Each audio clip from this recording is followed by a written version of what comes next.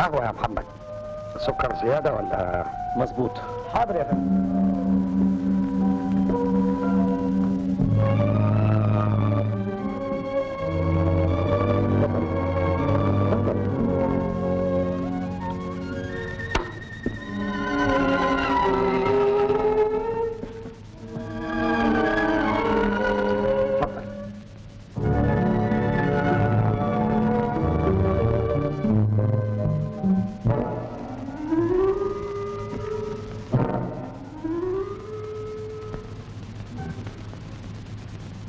أنا بيتهيألي إني بحلم. مش مصدق عينيا مش مصدق إن في حد في الدنيا يعمل اللي عملته ده. عشان يجي جبتني ببيتك وأكرمتني بالشكل ده. أنت عارف أنا مين؟ ما أنتش خايف مني. مش يمكن أكون حرامي ولا قتل قتله لا يا ابني. بعد اللي عملته معايا الليلة مش ممكن أصدق إنك كده. كلامك ده كلام إنسان يائس. وما يصحش أبدا إن الواحد ييأس من رحمة ربنا. وهي فين رحمة ربنا دي؟ أستغفر الله العلي العظيم. الظاهر يا ابني إنك انصدمت صدمة كبيرة قوي ومحتاج للي يخفف عنك. حسين اعتبرني زي أبوك. قول لي على كل حاجة مضايقاك. يمكن ربنا يقدرني وأساعدك. اتكلم.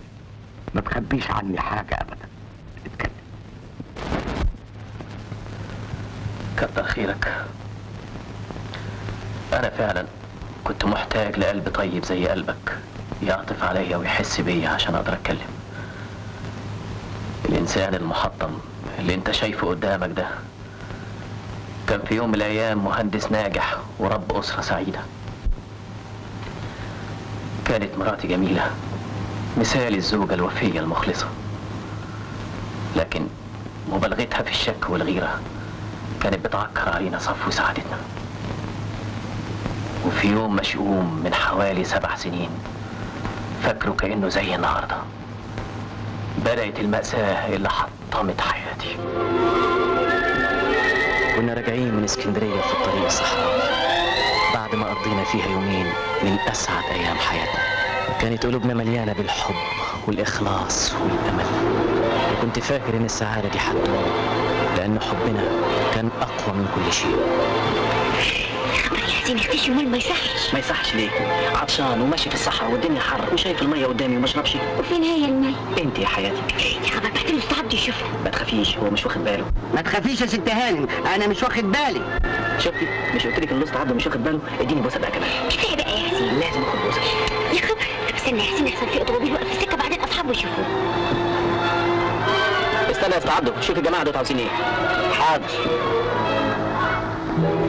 بس العربية فيها واحدة ست بعدين هانم تتضايق مالكش دعوة أنت يا حشري. عارف يا ست هانم اشوفهم عايزين إيه؟ انزل. حاضر. قال أنت رايح فين؟ أنزل بس يمكن يكونوا عاوزين حاجة. وانت مالك؟ ما تسوق نزل. طب بس بس ما تزعليش حقك عليا. أديني قعدت أهو. ها؟ سلام عليك. أول ما لقيتها واحدة ست عايز تنزل على طول. والله مش قصدي عشان ست ولا حاجة. وأنا يعني بيني وبينها إيه؟ ما أعرفش. اصل أصل أنا بحبك قوي يا حسين وبغير عليك من الهوا. حبيبتي. الست عاوزة حضرتك شخصيا. شخصيا؟ يعني إيه شخصيا؟ يعني شخصيا. روح شوفها عايزاه أو تيجي لحد هنا هو مش هينزل الستات. ما يصحش يا سعاد دي واحدة ست الواحد لازم يعملها بذوق. ما أنتش هتنزل اطلع استعبته وبعدين بقى يا سعاد هنعمل زي العيال الصغيرين قدام الناس؟ عارف لو نزلت مش هيحصل طيب. يا حبيبتي دول الناس بيستنجدوا بينا. أنا هنزل أشوفهم عايزين إيه وجاي لك حالا. بس أرجوك ما تضايقيش ها؟ جاي لك حالا.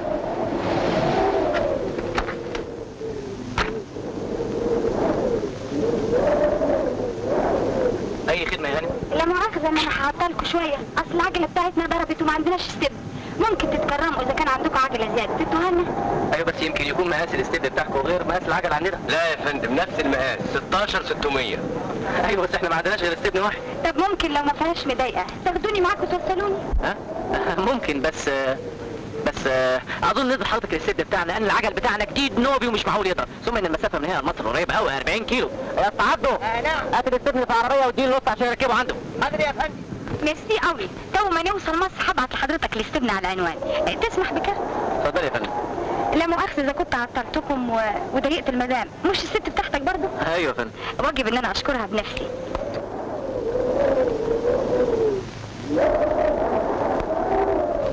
يا مدام أنا عاجزة عن الشكر. أنتوا في الحقيقة gentils زيادة عن اللزوم. ميرسي. آه اتفضلوا ما عطلكمش. افوار فندم